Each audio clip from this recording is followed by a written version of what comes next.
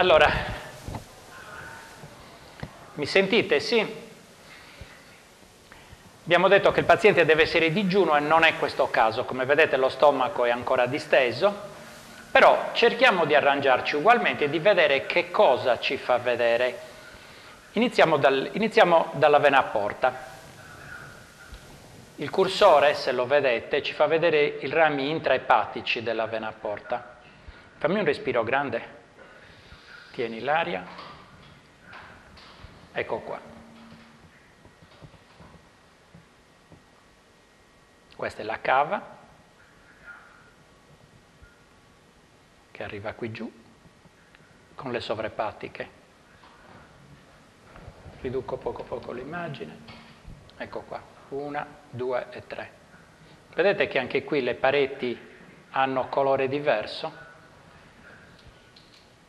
Se ruoto la sonda sulle, sulla vena cava, avrò l'immagine che vi ho fatto vedere prima, quindi l'atrio, la nostra cava che possiamo misurare, se fate attenzione si può vedere anche il flusso, una bellissima arteria renale destra, vedete i rapporti che contrae col fegato, la colecisti,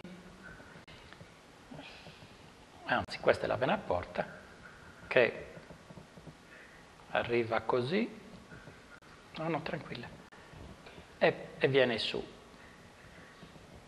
Se metto il colore,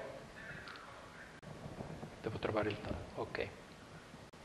L'immagine che vi ho fatto vedere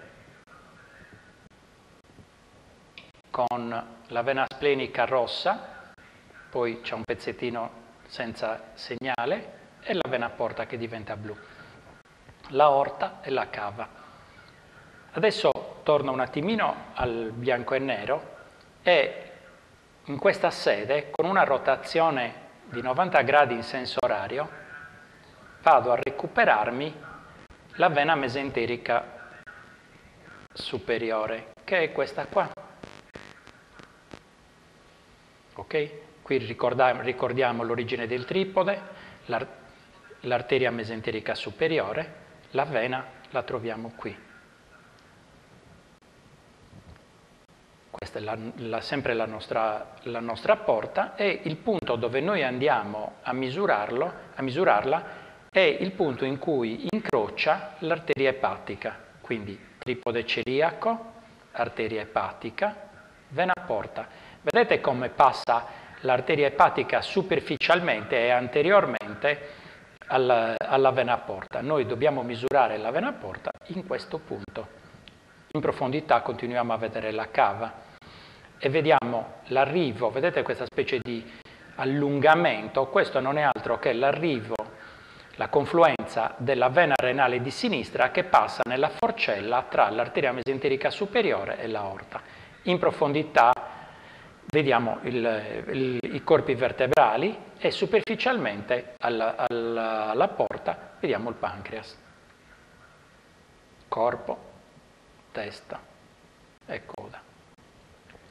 La vena splenica la perdiamo in questa sede, un po' perché abbiamo il colon disteso, ma possiamo andare a cercarla attraverso l'ilo splenico, dove Vedete come sono piccole i rami di questa, di, questa vena, di questa, vena, splenica rispetto a quelli che vi ho fatto vedere prima nel video.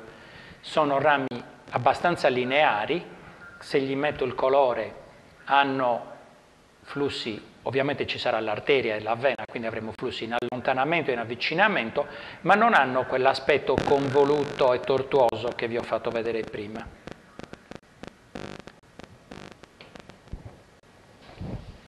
Quindi abbiamo visto la vena, la vena, splenica, la vena mesenterica superiore, la vena porta, le vene sovrepatiche, la vena cava. La vena cava la riprendiamo un attimo perché ne abbiamo parlato diffusamente.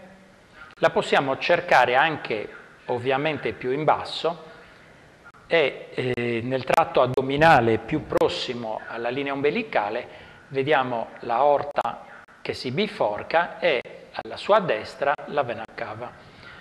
Quando ho parlato di portata, ho detto che la portata è difficile da misurare in queste vene, perché se voi fate caso, la vena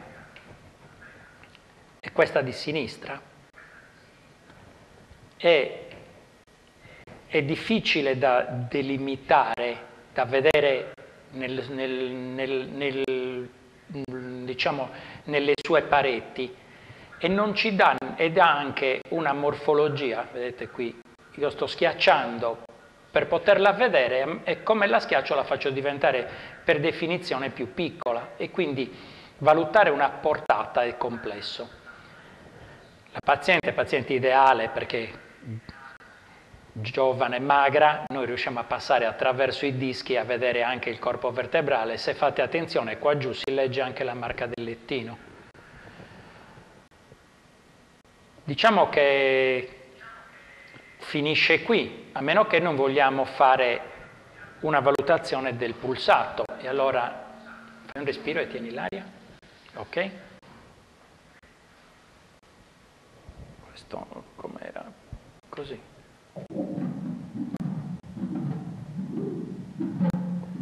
Il flusso trifasico di cui abbiamo parlato a livello delle sovrepatiche posso prendermi la cava e andare a vedere qual è il flusso a livello cavale nel tratto pre, preostiale e quindi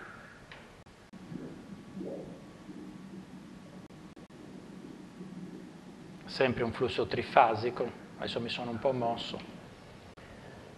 Posso farvi vedere qualcos'altro tipo eh, la, la, la, variazione della, in dinamica respiratoria della vena porta.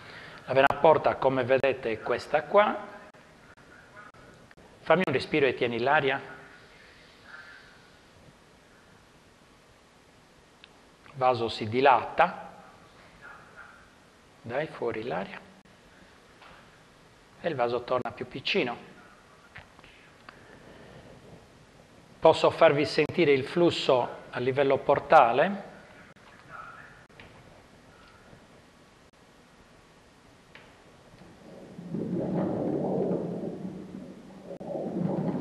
Vedete che è un flusso continuo, ma con una importante variazione nella dinamica respiratoria.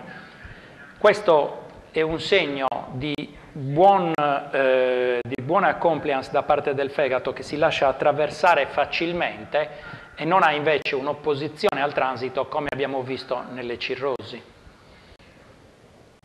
A questo punto non so proprio più che cosa farvi vedere.